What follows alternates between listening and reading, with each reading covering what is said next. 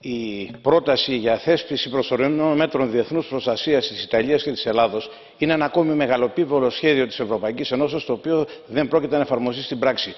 Γιατί πώς είναι δυνατόν να εφαρμοστεί όταν όλα τα κράτη διακατεχόμενα από πανικό κλείνουν τα σύνορά τους και αρνούνται να δεχθούν τους μετανάστες οι οποίοι τους αναλογούν.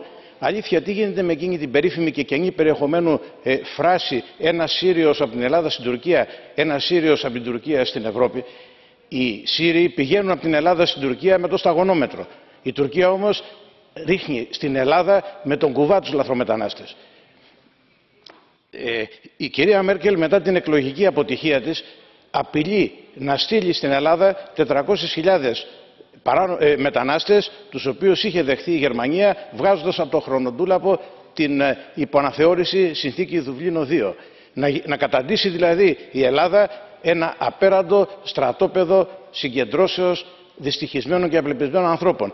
Να γίνει η πατρίδα μας για μια ακόμη φορά εξυλαστήριο θύμα, από διοπομπαίος τράγος επάνω στον οποίο θα φορτωθούν όλες οι αποτυχίες της εξωτερικής πολιτικής της Ευρωπαϊκής Ενώσεως.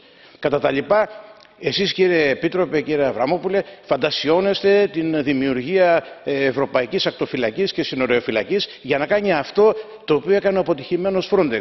Να γίνει δηλαδή ο τροχονόμος όσων κινούνται παράνομα από την Ιταλία, μάλλον προς την Ιταλία και την Ελλάδα. Ωραίους φύλακες οραματίζεστε κύριε Επίτροπε. Προφανώς κάτι τέτοιους φύλακες είχε κατά νου ο Γιουβενάλης όταν στη σύντλητο της Ρώμης διερωτά το «Quis custodient ύψος κουστόδες. Δηλαδή ποιος θα μας φυλάξει από τους φύλακες;